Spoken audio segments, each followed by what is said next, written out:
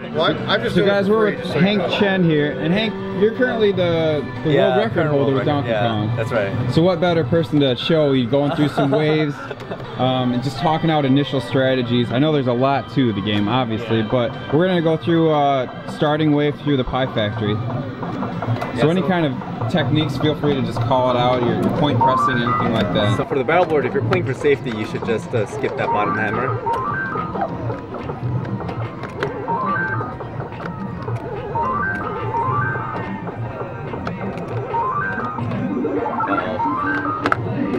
it could have gotten me.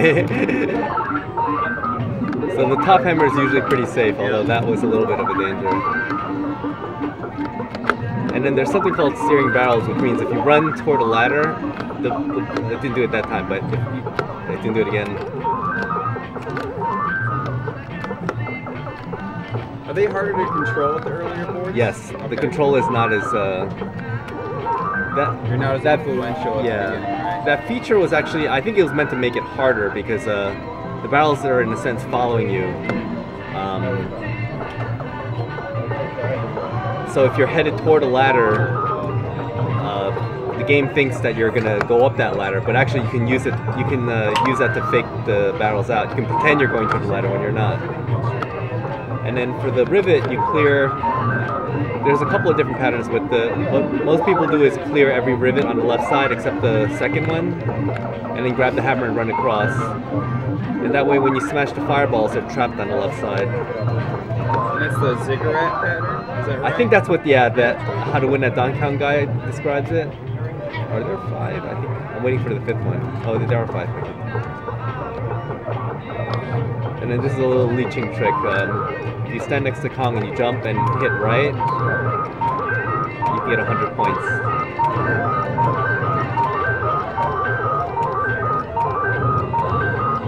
Alright, I won't do this too long because it's, it's gonna get boring.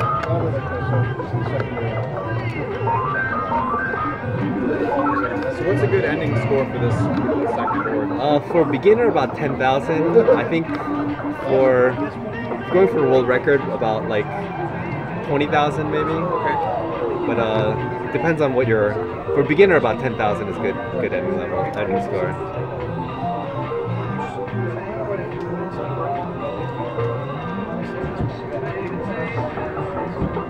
And in level two, the barrel control gets a little bit better. Again, skip the bottom hammer. If you get the bottom hammer, the, the, the screen is going to pile up.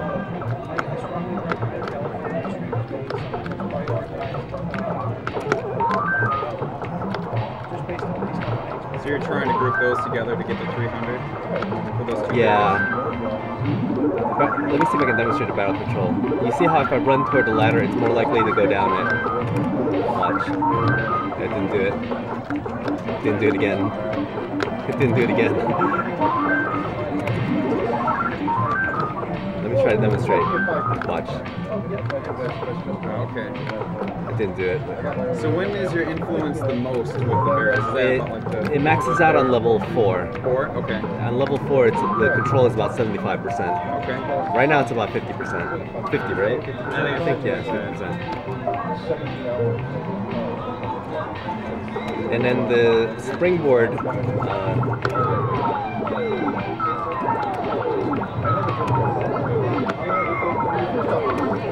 Okay, so there's two. You have to know about two safe spots on the on the top platform. One, is, the first safe spot, you can edge a little bit to the left of uh, the top of the ladder, and you'll never get hit by a spring. And then the second safe spot is uh, if you look at the floor, there's a yellow. There's two yellow um, floor pieces. To the right edge of the, uh, the the yellow yellow piece on the right is a safe spot. So I'm gonna wait for a spring to pass by and then run to it. So right here is a safe spot. Like I'll never get hit by a spring. Um, so the thing to notice about this board is that the springs bounce in all different places. Uh, some bounce more to the left, some bounce more to the right. Now you want to run up the ladder on one that bounces more to the right because that gives you more of a head start. Uh, and the, my point of reference is that first yellow piece. The ones that bounce more to the right line up with that first yellow piece. So you see how that one bounced more to the left, that one bounced more to the left, more to the left, more to the left. See that one bounced. You see how that one lined up? So that's the one that you want to run on. So on the earlier boards, it doesn't matter because there's more, uh, more of a leeway. But on the later boards, the springs get come out faster or more tightly packed. So um, so you have to. Uh, uh, you need like every split second you can get when when the springs are tightly packed.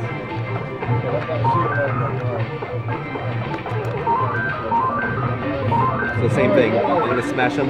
The, the fireballs always reappear on the opposite side that Mario's on. So since I cleared out the left side, I want to stay on the right side of the screen so that when they reappear, they get trapped. Except when they when they appear on the bottom, they can come up the right again. But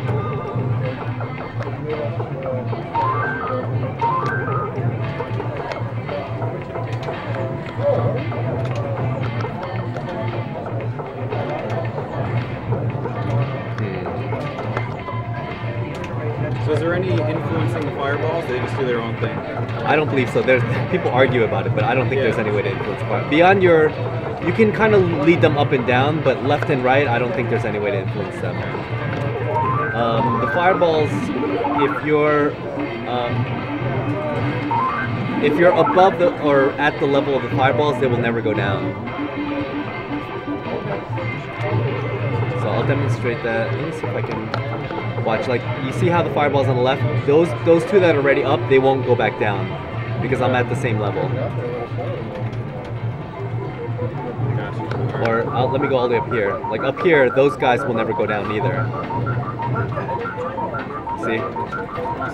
So, but as soon as go down, they can go down.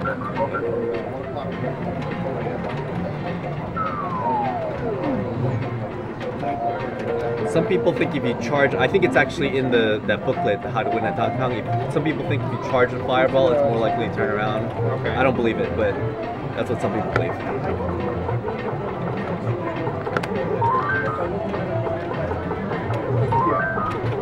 And the, the wild barrels on level 3 are deadly, like that.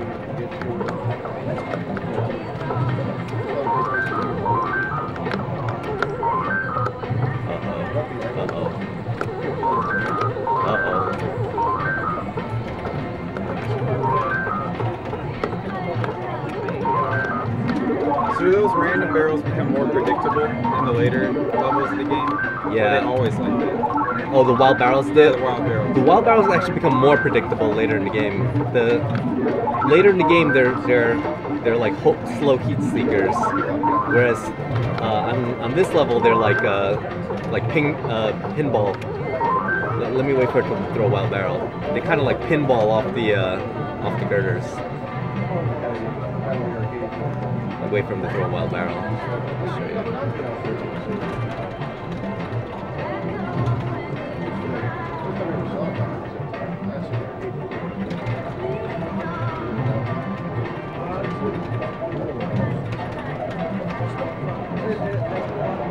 Of course, he's not going to throw a wild Yeah, barrel. he's taking his time now.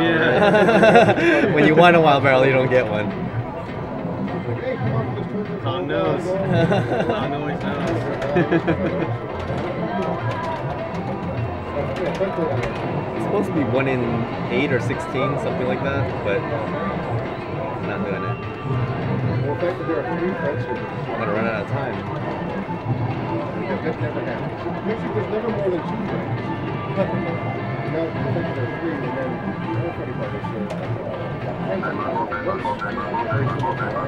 That is hilarious. I think I broke the world record for the longest streak without a wild barrel. Must be a hacked board. wow, no wild barrels.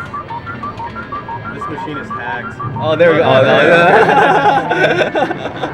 and it was it was the Yeah. He's in there sabotaging us. Yeah. Okay, so on the pie factory, on the third pie factory, there's three fireballs. So I wait for them to come out on the left side. The fireballs on the pies always come out the same side as Mario's on. So if you if you saw the, I waited for a split second on the left, So they all spawn. so they all spawn on the left, and then you run up the right. So that'll work at at least half the time. So now level three uh, L, uh, springs, it gets a little faster. The When I say faster, I mean more tightly packed. They're actually traveling the same speed. So wait, when we're running left, I want to wait for one that bounces more to the left.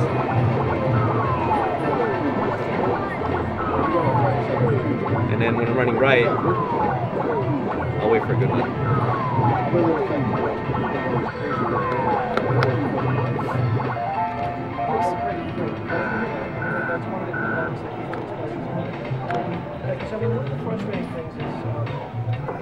Now, is, is the high score at a level right now to where if you're not point pressing from the very beginning, there's no way you need to get close? Oh, definitely. You need to. you, you need points at the beginning. Okay. You so need if I was to- playing casual, what would be a game if I actually got to the 700? if you were just running boards, it'd range probably about 840,000 to about, I mean, even some people got 900,000 running boards. Because I, I was just curious, and I did it on MAME a while back, to the same state of it. I wanted to get to the end and see, and it wasn't that high at all. yeah, so So it's interesting. yeah, it's just it depends on how effectively you run through the game because you rely mostly on timer points. Yeah, you'd be surprised. I, I, I get without doing anything special, I get 940 now when I'm running boards. Yeah, it, it doesn't And take I think- much to get a score like that. Ro- And Ross Ross does even better. Like Ross Ross is like just running boards. Ross can get like I don't know 970 or something. Just Yeah. running boards, something ridiculous. Because I mean, if, if people on barrel boards, they'll grab the top hammer right away. You wait for barrels to come out, you can smash a few more, and that's that's three to nine hundred points more per barrel board, and then that's fifteen thousand points to thirty thousand points at the end of the game. All right, so the barrel control is gonna get good on this board. Watch, I'm gonna pick that one out. Oh. So do you remember your score with your first uh, kill screen game? Oh, that was fun. Sorry, I was talking that's to you. Uh, my first kill screen was 897. 897. Yeah. Okay. So was it you were trying to get the kill screen before? Oh yeah, I was just running boards at that Yeah. time. Yeah. Okay. How about you, Robbie? My first kill screen was, I think, I believe it was eight hundred and sixty-six thousand. So that's about the average range um, that someone would. Once, once you're really into it, you just want to kill screen. You don't care Right. about playing best You just want to um, just get as far into the game as you can when you're first learning, and then once you get to the kill screen, that's when you want to learn how to get more points. Now that you know you're capable of getting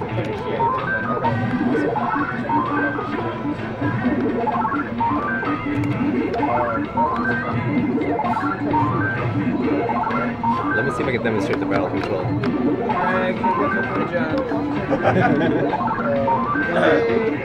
So we're hanging out at Donkey Kong. Uh, Hank Chien's here. Hank's got the record. Yeah. He's the best player.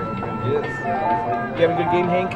Oh no, I'm just I'm just running boards. I'm Oh, just you showing, are? Yeah, I'm just showing, uh, giving some Oh, tips. he's doing this you? actually went through Oh, cool. So on level four, there are four fireballs. So wait for four to come out, then run right. But you see, it's not- My interview. Sorry. Hey, what's up? Nice script thing. No, no. Did you play more games in the tournament? No. No. Okay. Sorry. We gotta play Final Lap before we go. Yeah, we do.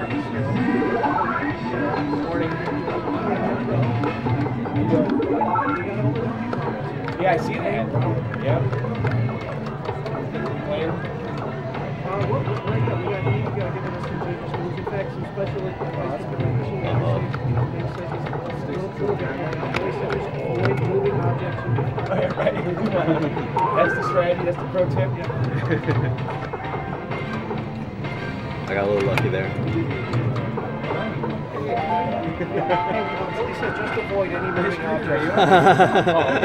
Kong doesn't move. the oil can neither. So he, is he doing your strategy videos? Right. Just, you got you got all audio already? Yeah, audio's right there. I think. Yeah, he's talking about he's going through it, and I got the GoPro running, so I got the close shot.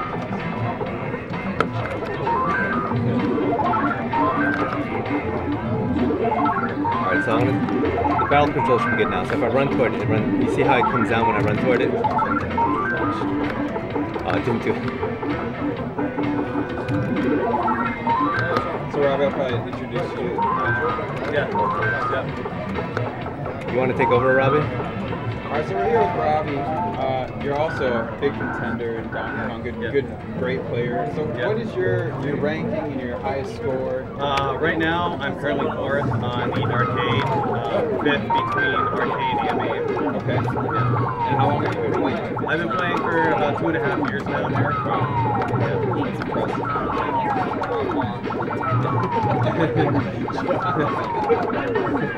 impressive. so you have your own machine? Is that how you? Yep, I have my own You go to machine. I have- Um, yeah, I learned on this machine, and then once I moved, I got my own machine, and uh, I just kept playing from there and kept raising my score. Okay. And you're streaming on Twitch. So what's your Twitch name? Uh, it's twitch.tv slash Lakeman421. Robbie, you were playing a MAME too, so you were Yes. with a keyboard. Yeah, Right? I, What I was, did you get a non with a keyboard? uh, actually, I got my first kill streak on MAME. With a keyboard, With a right? keyboard. I, I used, um, Isn't that crazy? I used the arrow keys as a directional, Yeah. and then the control left control as a Jump. So it is opposite of this control. Oh, okay. Because on this one, your directionals are left, and your Yeah, yeah, yeah, yeah. So it's the opposite. You got conditioned. So yeah, I was practicing on this machine and then home on so I was kind of hopping back and forth. Yeah. But it, it does take a little bit of use for it, so I'm kind of doing opposite Right. of what you normally do all the time.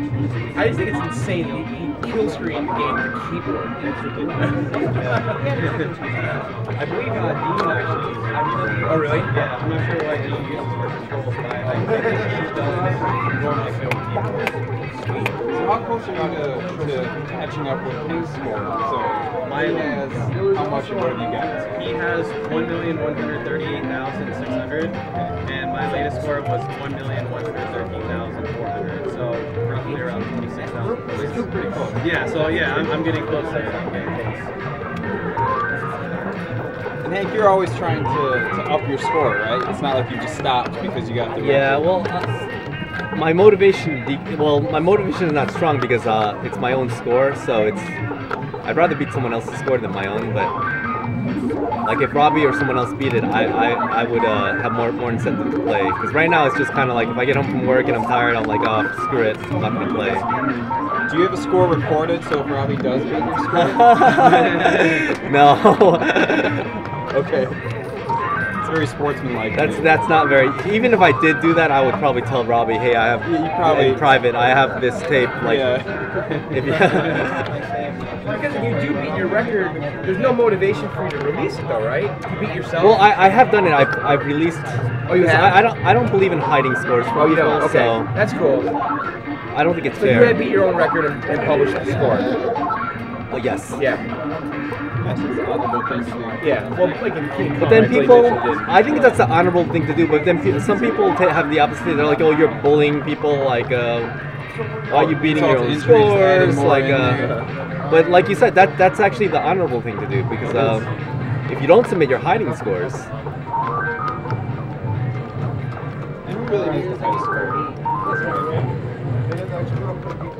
That was some points right there. That Yeah, a little bit. yeah, I'm waiting for, I'm waiting for an opening. Apparently that DP thing would almost make the cabinets next to it burst into flames. It's bad for forever. Do they have like the same six songs on repeat? I don't know. I swear I heard the song like five times.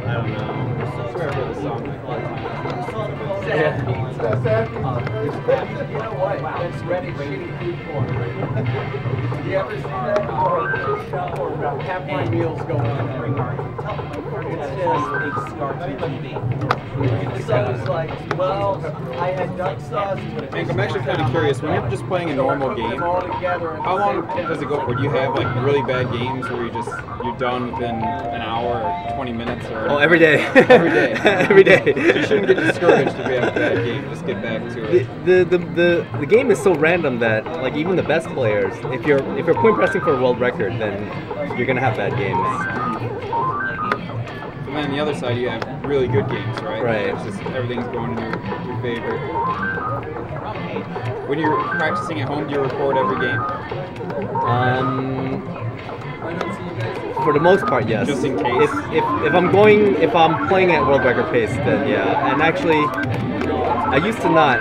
And then my first million point game, I actually don't have recorded because I wasn't recording because I didn't think Right. I didn't think I could do it. Yeah, I didn't think I could do it. So I was just messing around, and I have the last few levels recorded, but I didn't the the first like 75% of the game. I was didn't think I would do Do, it. do you hold records in any other games or any other games you're really into? Um, I mean, I like I like Centipede, but I'm not I'm not nearly as good as the world record holder. Okay.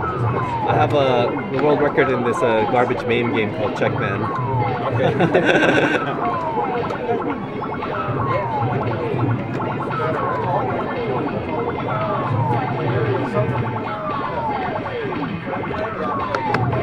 dead.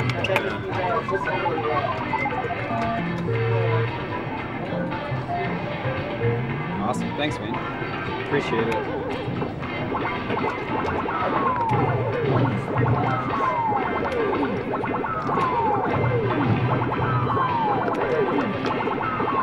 And on the later levels, do you still like point press that fireball on the right? Like stay on the ladder? Uh, I don't, but some people do. I'll, I do it. Um, I, I'll show you when I, when I play.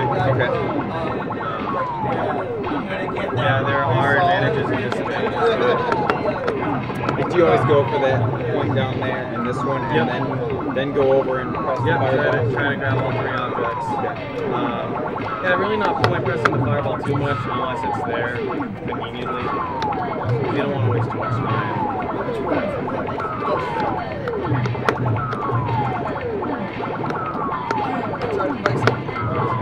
You want to take over? Yeah, I'll take over and I'll play a. Thanks a lot, man. Really appreciate it. For a little while there, I was playing my Donkey Kong machine for a while. I kind of just dropped it